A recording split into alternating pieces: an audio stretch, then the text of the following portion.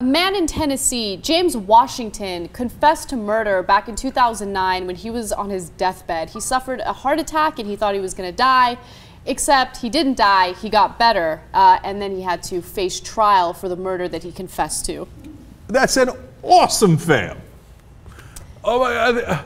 I'm hurt, dog. Oh, by the way, I killed Joe back in 1978. Oh, is he, oh, I'm okay now. Oh, that was just heartburn. So he was he was in prison. He was in prison at the time that he had his heart attack, and um, his That's friend even funnier. his friend was by his side, and his friend said the following: He kind of got as best as he could, uh, mentioned, uh, motioned, and said, "I have something to tell you. I."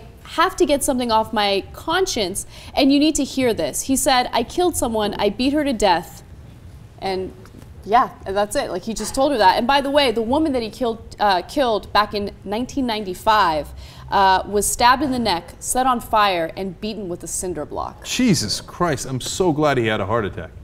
So that he could confess, so that we could actually prosecute him for that. Now, wouldn't it be ironic if it turned out he got the death penalty for it? And so that heart attack wound up killing him anyway? Yeah. Think about it. Okay, by the way, no statute of limitations on murder. So if you're going to confess to anything, hmm, and be careful about murder.